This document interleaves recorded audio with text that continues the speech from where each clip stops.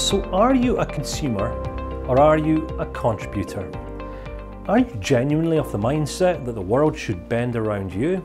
Are you waiting for people to come into your life to heal you, to fix you, to lead you, to guide you, to wipe your backside, to pay you, to give you money, to create opportunity? You know, a lot of people complain. They go through life and they say, you know, you know, I'm just waiting for the right opportunity. You know, opportunity always passes me by. Have you ever known anyone to say something like that? The interesting thing about opportunity is that it's absolutely everywhere. The only problem with opportunity is that many people fail to recognize it when it eventually comes along because opportunity has this tendency of coming dressed in disguise. It comes dressed in a pair of overalls, and it looks like hard work. Um, a lot of people expect that opportunity should be something really easy. It should be a quick fix. It should be overnight riches and overnight success. And the truth of the matter is that, you know, abounding results in life uh, generally come about through years, sometimes decades of hard work. Um, I just want to state here before we kind of really kind of kick off is that going back 10 years ago, I was broke. I was, uh, I was almost homeless. You know, I was very, very fortunate to have met um, a, a guy who let me live with him for around about six to nine months until I was able to generate enough money to get myself back on an even keel once again. Uh, going back 13 years ago, I would have been one of the most self consumed and mindless individuals I'd ever come across in my life. I would approach my relationships from the attitude of what can I get? Like this, va- this vacuum, this vacuum was governing, governing me. I would you know, approach new relationships, friendships, working relationships. I would approach work and employment from this all consuming perspective. I was in it and in life for what I could get.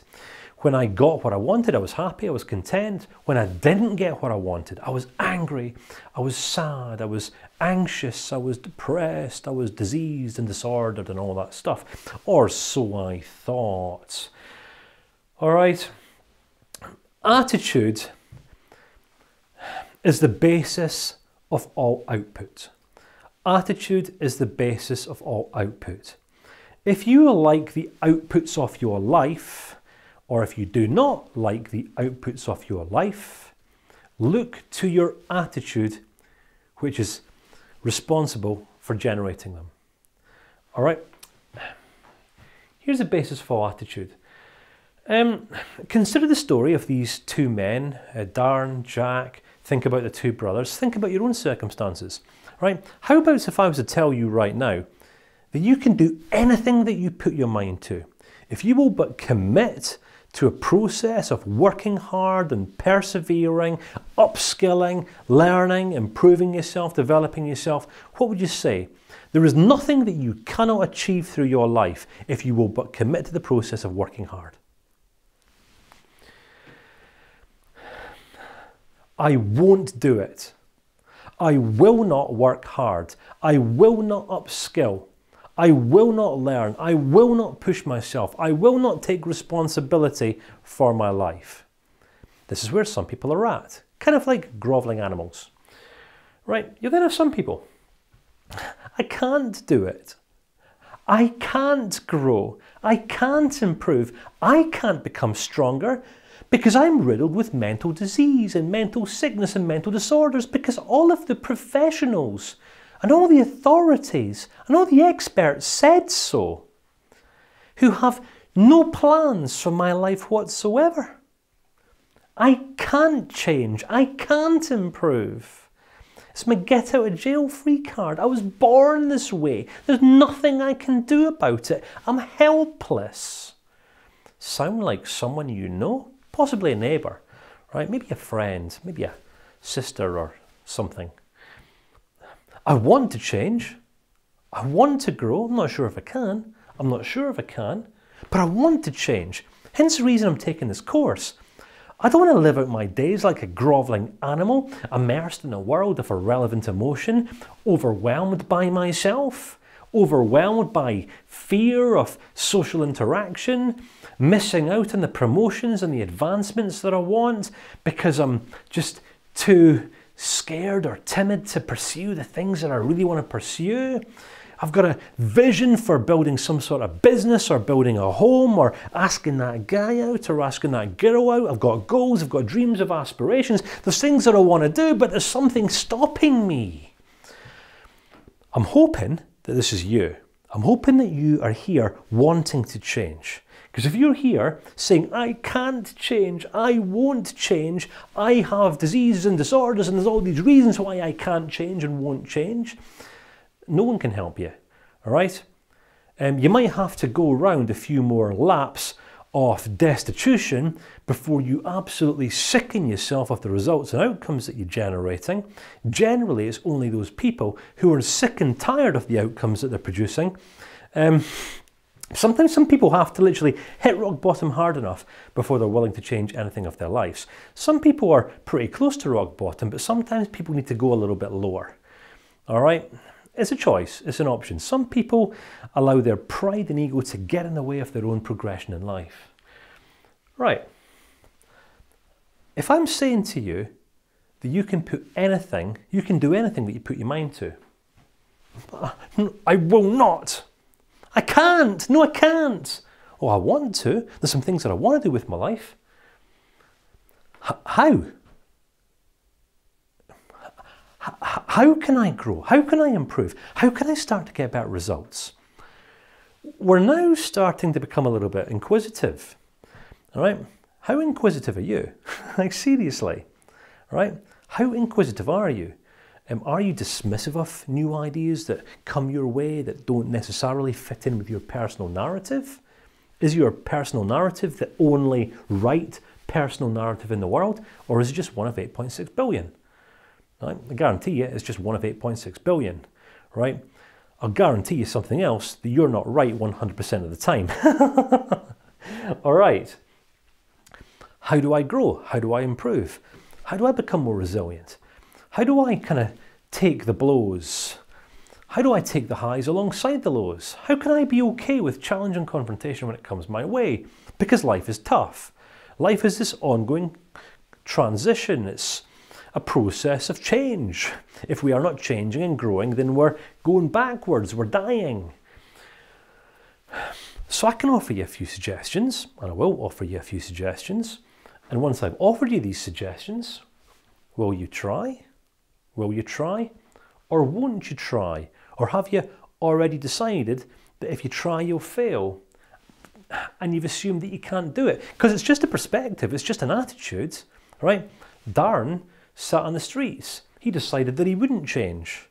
Right, whereas Jack went for went for the the runway, went modeling, all right? He decided, I'll give it a try. How do I do it? He done some research and he gave it a shot and then decided that he could do it and he succeeded. All right? Once we know how something's possible, we realize that we can change, we can improve, we can, we can grow, we can develop. All right? Understanding our abilities is a learning process. Until we've grown to understand what we're capable of, we will forever say that we won't or that we can't. All right, it's just attitude. It's not universal truth, and it most certainly is not a fact that's set in stone. All right, centered around belief and perspective. All right, once we understand that we can do something that we previously thought we couldn't, we're left with a choice. Will we or won't we? Do we go back down to the gutter or do we step up and pursue whatever it is that we want to pursue? This is what mental toughness is all about. It's not about going down to the gym and building up your muscles, all right? It's about committing to the process of persevering and pursuing the things that we actually want more of in life. All right? Because challenge will come your way, and sometimes some people will say no. Sometimes you're not going to get what you want, but you know what? It's okay because you're not entitled to getting what you want. The question is, how will you handle rejection or delay when they come your way, which they will come your way? All right, that's what resilience and mental toughness is about. Right, a basis for all attitude. Success is at the top of the ladder and it's going to mean something different for every single one of us. So certainly I'm not going to quantify success here for you. For me, success looks like a healthy network of social relationships, a healthy relationship with my wife, a prosperous, growing business, um, increased profits, uh, increased productivity, heightened efficiency. That's what success looks like for me. I don't like to put success in a box. Many people do, but I'd strongly recommend against it. So what I'm saying here, all right, there's a journey, there's a process that we can take towards becoming untouchable. Because once you've decided that you can do something or that you will do something, no one's going to get in your way. And this is kind of where resilience comes from. All right? It's the journey to becoming untouchable. All right, so when we're saying I won't do it, I can't do it, this is us down in the gutter of life. I think that's what Steve Covey was referring to groveling animals, kind of rummaging, rummaging around in the dirt, looking for kind of scraps and mortals to eat. I can't take responsibility for my own life, or I won't take responsibility for my own life because I've got mental diseases and behavioral disorders and I've got all this stuff wrong with me. That's why I can't take responsibility for driving my own life in a productive and fruitful way. All right? There's levels of insight and awareness that we must grow through. Not go through, grow through. G R O W. The process of personal growth can be a challenging one. It can be a daunting one. It can be hard work, which is why not all people go through it, all right? Because it ain't easy. You know, it is, there is a, a penthouse apartment of life, all right? There is a stage of life we can reach where we're no longer bound by fears or anxieties or um, apprehension or things like that. There's a stage of life we can reach where everything becomes possible. We realize that we're only ever one strategy away from achieving anything that we want to. All right, we're only um, one body of information away from understanding something new about ourselves or about the world or about other people or about marriage or about business or about entrepreneurship. People have a tendency of saying I can't and I won't when they simply don't know how to. And because some people don't know how to and they haven't learned how to in the first 25 years of their life, they assume that it's impossible for all people to. And we couldn't be further from the truth. All right? Resilience is about pursuing the goals and objectives that we aspire to, regardless of what outcomes or resistance comes our way. All right? You might be rejected, and some people fail sometimes. You know, my goodness, in business, I must have failed a dozen times, two dozen times. Doesn't stop me going though. Every time I fail, um, just equips me with a new depth of learning, a new depth of understanding, of knowledge, of wisdom, of insight, of understanding. In marriage, right, my wife and I, Karen, we have been up and down like that. For the first five years, it was very, very tough. The first five years of our marriage, we came very, very close to separating and divorcing. All right. But then we learned that it was possible to grow together. Right? We learned a new process. We became more resilient. We both became mentally stronger. We had to for each other. It was important. All right. So want here, I want to here guide you through the journey. Um, a journey that you can embark upon today to becoming untouchable, if you want to. If it's even if you think it's even plausible, all right, you perhaps maybe think it's impossible, right? But let us understand these ideas first and then make a conscious decision once this teaching is complete. Some people go through life with a certain attitude, and we're still talking about attitude here. That life happens to me. You know, life happens to me. I'm a I'm a victim of circumstance. I am facing situations and circumstances outside of my control. The economy is a certain way. The politicians are doing some certain stuff. It's raining outside. Um, my health is as it is. I've lost a limb. I've lost my pocket money. My girlfriend dumped me. My business failed. Life just happens to me, and I'm so disenfranchised and sad and disempowered because I have no control over any of these things. It's a mindset, it's an attitude, and it leads some people into this pit of disempowerment that they stay into for anything up to an entire lifetime. And my friends, I want to open this course up by, by very, very boldly stating that life does not have to be this way for anyone. And this is some pretty darned good news. All right? People down in this gutter of life feel disempowered, helpless, like they are incapable of changing anything about their lives right? People around here, all they're looking for is a little bit of mental health. So they go to deep breathing exercises and they'll go and speak to the therapists and the counselors. Say, Will you heal me? Will you give me a cuddle? Will you make me feel better about myself? Will you love me? Will you fill my internal vacuum? Like little leeches, like me, me, me, me, me, me, give me what I want, make me feel happy, make me feel complete. I'm not mocking here. Well, I kind of am, just a little bit. Please forgive me, right? I'm offering you a contrast. I'm offering you something to relate yourself to. Is this where you're at? Is this where you really want to be? Is this all that you aspire to in life? Being a grovelling animal, dependent on other people to prop you up and sustain you? Is this really what you think life's about? I know you don't. You know you don't. You know there's more to life than this, which is why you're taking a mental toughness masterclass with this bald headed, crazy Scottish guy. All right? So, this is the gutter. This is where the grovelling animals live. But we progress.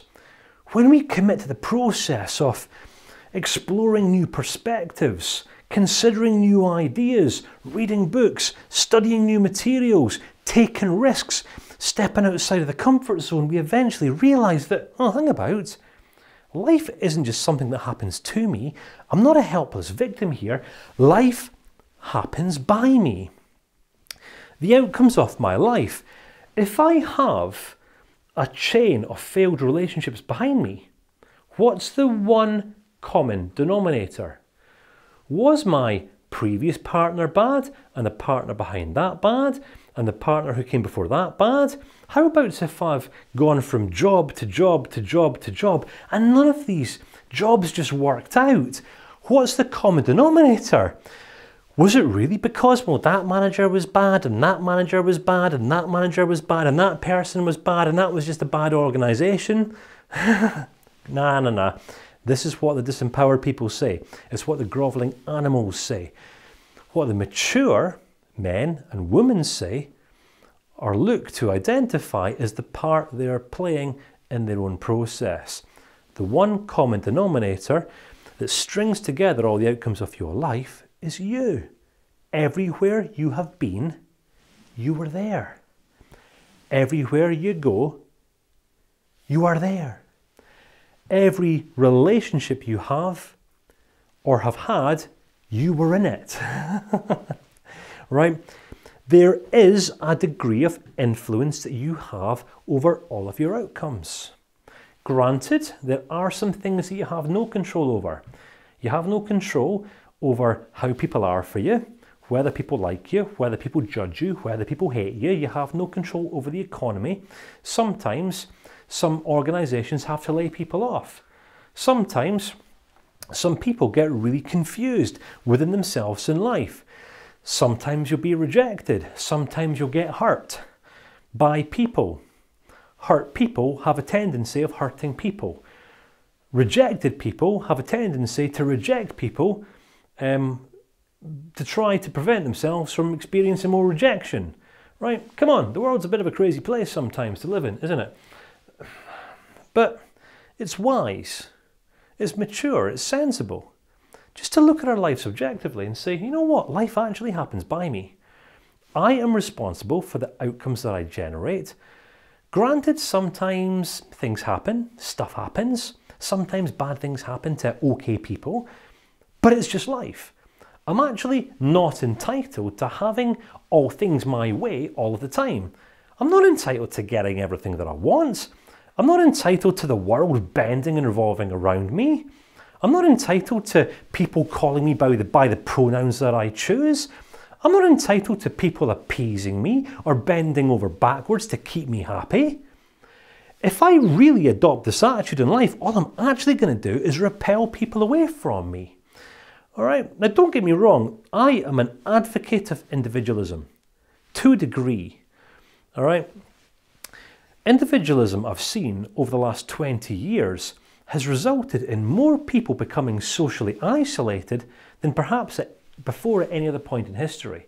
Right, it's great expressing oneself, oneself authentically. It's great being true to who you are and all that kind of stuff. But if you being true to who you are ends up dissociating you from society or making you unrelatable within the workplace, more fool you. All right, society holds itself together through a degree of conformity.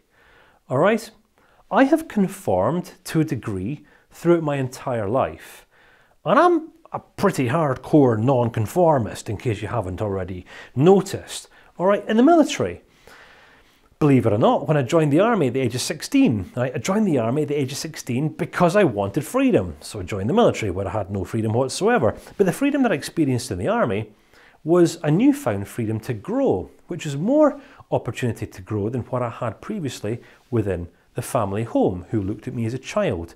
I didn't want to be looked upon as a child at the age of 16, so when I joined the army, I was addressed as a man. And I was given the opportunity to grow and become a man. Children think as children think. Adolescents think as adolescents think. Emotionally unstable people think as emotionally unstable people think.